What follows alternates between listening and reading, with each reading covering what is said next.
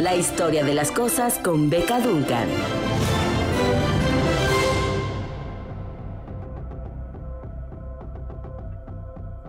Oigan, chamacos, ya llegó Beca Duncan. Nada más les voy a decir de chisme, pero es un chisme interno. No, está- no entramos este, luego, luego al aire porque estábamos hablando de política. Ya me vas a meter en problemas. No, no, no, no voy a decir de qué. No voy a decir de qué ni nada, no voy a decir. Era una plática privada, ¿no? Sí, así es. Era una plática privada entre nosotros, este, desde luego no por desa- desafanarnos de ustedes, sino ustedes también estaban en cosas propias de su género, sexo, raza y condición. Totalmente. Nosotros también, y estábamos, pero quería que supieran que estábamos platicando de política, porque ahora corresponde historia, ¿no? Sí, pero también política. Ah, también. Una historia muy relacionada a la política porque ¿Por vamos qué? a hablar del muro de Berlín. Oh, No podemos no hablar del muro de Berlín porque el sábado se cumplieron 30 años de que lo derribaran y eh, pues me pareció una buena ocasión para hablar de el muro de Berlín y el arte, pero más específicamente del graffiti. Claro. Porque eso se convirtió también en un símbolo del muro. Todo esos, ¿cuántos kilómetros son los que están allá este, eh, en Berlín, lleno de los murales que se estuvieron haciendo desde antes del 89? Y, y cómo se conserva todo ese pasaje eh, maravilloso, psicodélico, político, artístico. Es un alucine. Sí, es un kilómetro y se conoce como la Galería del lado Este. Exacto. Eh, y bueno, la historia de la galería es muy interesante y si por ahí va este, el, el tema de hoy, la galería se empieza en 1990 precisamente para conmemorar que ya no existe el muro, pero dejaron como pues, este tramo, ¿no? Em, empezaron a convocar artistas a hacer ahí murales, pero la intención era eh, reflejar lo que estaba sucediendo del lado oeste Sí, mientras existía el muro sí. Específicamente a partir de los años 80, porque ahí hay un cambio importante en, digamos, en, en cómo se ve el muro, porque ahí lo remodelan, digamos. El muro se construye oficialmente en 1961, Sí, aunque Alemania se divide en el 49, claro. pero eh, oficialmente como muro empieza a existir en el 61, primero con eh, alambre como alambre de púas y se fue haciendo un muro más sofisticado, digamos, pero en los años 80 ya lo hacen de concreto. Y entonces eso permite que los artistas y, Ahí, y- ahí sí hay pared. y gente común y corriente pase por ahí y haga un graffiti. Por supuesto que en esa época el graffiti era considerado vandalismo, como todavía hoy sigue un poco el, el debate, ¿no? Hay quienes sostenemos que sí es una forma artística, hay otros que dicen que no y que pues es vandalismo y ya. Pero em, lo que empezó a suceder es que, por supuesto, del lado oeste podías, de alguna manera, aunque fuera considerado vandalismo, podías pintarlo. Mientras que del lado oeste, que era totalmente represivo, no había forma de que pudieras pintar el muro. Entonces también el graffiti se convirtió en una forma de reflejar la libertad que había del lado oeste y la represión que había del lado este.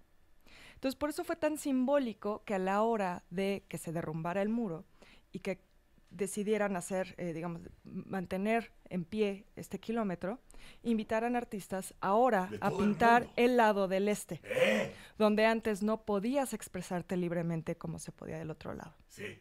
Entonces, em, desde, insisto, desde los años 80, cuando se hace ya el muro de concreto, hay artistas eh, interesantes que empiezan a hacer pintas. Uno de ellos es Thierry Noir, que es eh, un artista francés. Él eh, lo van a reconocer inmediatamente si ahorita meten en, en- en su buscador eh, Muro de Berlín Graffiti. Son estos rostros muy grandes con labios enormes, rostros como de colores, Los del muy de caricatura. No, ese es otro. Estos son como personajes caricaturescos de colores Sí. con labios muy, muy grandes. Sí. Y Thierry Noir es, in- es interesante porque es el primer artista, o bueno, se cree oficialmente, que es el primer artista que pinta el muro en la historia del muro de Berlín. Esto inició en los ochentas. Él comenzó a pintar eh, pequeños animales, pequeñas figuras humanas, antes de hacer este mural en la galería del lado oeste. Em, y por eso son personajes caricaturescos de pocos colores, porque como era vandalismo, era ilegal, pues tenía que ser algo que pudiera ser, exacto, Claro. rapidísimo. Sí. Entonces, eh, él es de los más icónicos por esto, porque se, se cree que fue el, el primero, y bueno, él mismo obviamente dice que fue el primer artista que intervino el, el muro de Berlín. Em, el que tú mencionas, El es- de Brezhnev, ¿no? Exactamente, es un beso entre eh, Brezhnev, Leonid Brezhnev, Sí. el líder de la URSS, y Erich Honecker, que era el líder el, el de la... de, de la República. Alemania Oriental. Exactamente, la República Democrática eh, Y Alemana. sí se lo dieron. Sí se lo dieron. Mucha gente cree que es una No, cosa no, la irónica. pinche foto es así Pero sí se lo dieron. Para regalarle la foto a alguien que te caiga de la chingada, le regalas esa foto. Sí, pero se ve como muy incómoda, ¿no? Y O sea, es incómodo, au- aunque la otra, la, la otra persona fuera mujer. Sería incómodo, Sería incómodo. por el, el beso que da Brezhnev. Sí. El otro como que aguanta, el- yo creo que hasta la lengüita, güey, algo así. Porque el otro nada más como que dice, ya, ni modo, ya estoy aquí.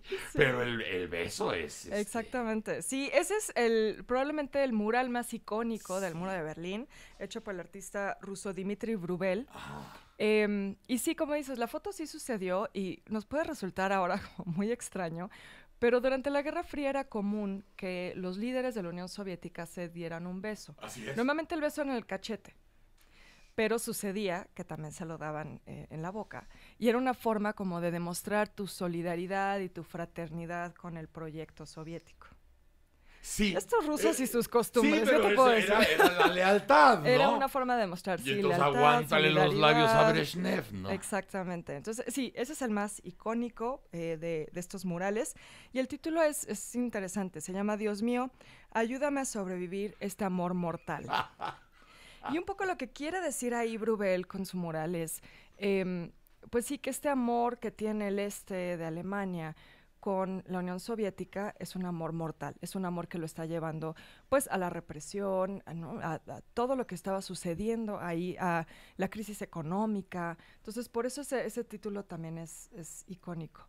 Y dentro de estas pintas hay otras que no son, em, digamos, estas son de artistas convocados específicamente para hacer los murales, pero también de pronto hay otros que eh, son como cosas que suceden de forma eh, más espontánea que eh, si les interesa ver los, los grafitis que se hicieron en el lado oeste del muro, hay una página que al ratito se las pongo también en mis redes, que es berlinwallart.com. Sí, es buenísimo. Y esa es una página que documentó, eh, bueno, que ha juntado fotografías que documentaron en mayo de 1989, es decir, seis meses antes de que se cayera el muro, todos los grafitis que había del lado oeste. O sea, los que sucedían de forma espontánea, alguien que pasaba y pintaba algo. Y hay unos muy buenos. Hay eh, un anuncio, por ejemplo, que dice, atención, estás saliendo de Alemania eh, del oeste Sí. y alguien puso cómo. O sea, ¿cómo? ¿no? Está el muro, está, eh, está este, esta señalización y el muro enfrente. ¿Cómo que estoy saliendo? No, no puedo salir. Entonces, esto también es, es muy interesante. Hay otra pinta también pequeña que dice, muchos hombres pequeños en lugares pequeños, haciendo cosas pequeñas, Sí. cambian la cara del mundo. Hay cosas maravillosas, de verdad. Todo ese kilómetro no tiene desperdicio. Sí, No tiene desperdicio. ¿Te, te acuerdas de ese, de, ese- de ese? ¿Te acuerdas de, de- de todo ese sí, el, el kilómetro. Eh, eh, casi acabando, hay una como fábrica de esas abandonadas. Y entonces, si te sigues caminando por la fábrica esa, hacia el río, de pronto empiezas a ver mesas entre, entre los árboles y eso. Y a todo mundo chupando y jugando cartas. Y te sigues por el caminito y va viendo otros lugares que expenden o cerveza o comida, otro tipo de comida, o cosa yugoslava, o cosa griega. Pero todo el mundo convive en esas mesas. O sea, nadie se va a ir sin pagar.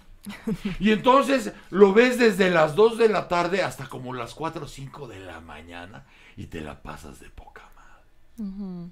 Y puedes llevar tu botella y todo. Sí, pues es que lo, lo interesante es que también a partir de este momento Berlín se convierte realmente en una capital cultural. Lo es.